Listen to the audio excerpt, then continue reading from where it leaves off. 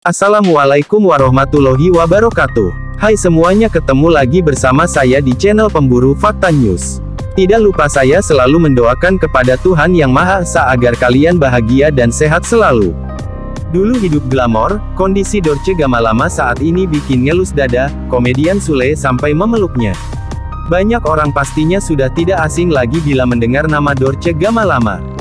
Dorce mulai terkenal saat dirinya muncul di stasiun TVRI Surabaya dan TVRI Pusat. Namanya semakin naik daun setelah dibuatkan film dengan judul Dorce Sok Akrab dan Dorce Ketemu Jodoh. Selain itu Dorce yang terkenal glamor juga pernah memandu acara Dorce Show di Trans TV dari tahun-tahun 2005 sampai tahun 2009.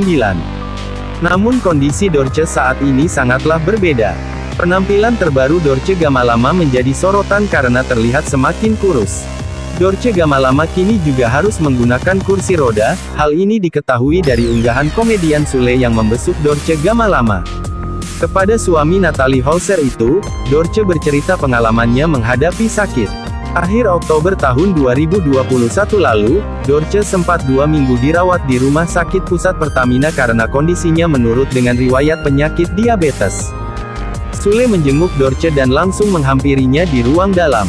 Bunda, kalau sakit enggak apa-apa di sini aja, Bun, kata Sule ke Dorce, dikutip dari YouTube Sule Channel, Rabu, tanggal 5 Januari tahun 2022.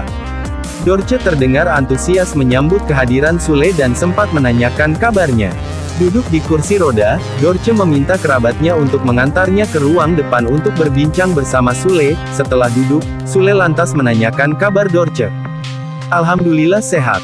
Pokoknya Sule sehat terus ya, tutur Dorce. Sule pun langsung memberikan pelukan kepada Dorce sembari menepuk-nepuk pundaknya.